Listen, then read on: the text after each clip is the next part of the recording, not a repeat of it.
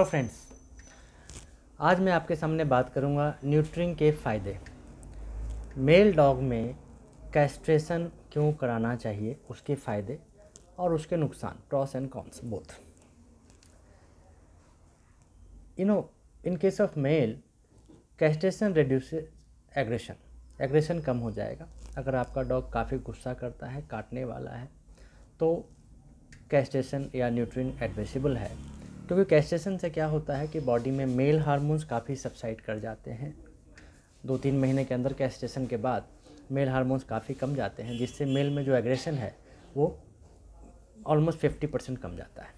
तो अगर आपका डॉग गुस्से वाला है तो you can take this step neutering का दूसरा फ़ायदा ये है कि आपको टेस्टिकल ट्यूमर या टेस्टिकल कैंसर नहीं होता उसको कभी। तीसरा फ़ायदा ये है कि स्क्रोटल इन्फेक्शन डॉग में हमने काफ़ी कॉमन पाया है।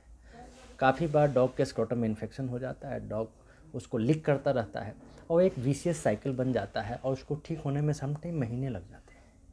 तो अगर आपने कैस्ट्रेशन करा लिया न्यूट्रिन करा लिया तो ये प्रॉब्लम कभी नहीं होगी और बार बार आपको एंटीबायोटिक वगैरह से बच जाएँगे।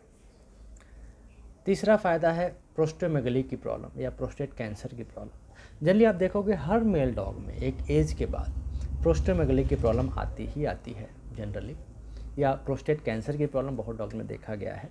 अगर आपने आपके, अपने डॉग का न्यूट्रल करवा लिया तो ये प्रॉब्लम काफ़ी हद तक सॉल्व हो जाएगी। चौथा फ़ायदा, आप देखोगे एक एज के बाद, आठ साल, दस साल के एज के आसपास एनल पेरी एनल एरिया में छोटे छोटे ग्रोथ हो जाते हैं डॉग्स में, जो काफ़ी पेनफुल भी होते हैं और अनहाइजेनिक भी होते हैं। हमेशा मैगट्स होने का डर बना रहता है। न्यूट्रिंग के बाद, ये प्रॉब्लम भी काफ़ी हद तक डॉग में सॉल्व हो जाती है। तीसरा बिहेवियरल इशू मेल डॉग में क्या है कि अगर बगल में स्ट्रीट डॉग या कोई बिचेज हीट पे आ रही है तो उनके स्मेल से ये काफ़ी एग्रेसिव हो जाते हैं। घर से भागने की टेंडेंसी बनी रहती है और जैसे ही मौका मिलता है कभी कभी ये घर से भाग भी जाते हैं। तो अगर आपने न्यूट्रिन करा लिया तो बॉडी में मेल हार्मोन ख़त्म हो गया सेक्सुअल अर्ज़ ख़त्म हो गया तो ये प्रॉब्लम भी सॉल्व हो गई। छठा बहुत सारे डॉग्स को मास्टरबेशन की आदत होती है, वो तकिया पकड़ लेते हैं और कुछ और सामान पकड़ के या कभी कभी किसी का पैर पकड़ के भी हम्प करते हैं। It is because of sexual hormone when testosterone surges more ये प्रॉब्लम आती है। तो अगर आपने न्यूट्रिन करवा लिया तो आपके डॉग को ये प्रॉब्लम भी नहीं रहेगा और आप सेफ़ रहेंगे। ये तो हो गए न्यूट्रिन के फ़ायदे। अब ऑब्वियसली हर चीज़ के फ़ायदे हैं तो थोड़े बहुत तो नुकसान है। अब न्यूट्री के न्यूट्रिंग के नुकसान बताता हूँ मैं आपको।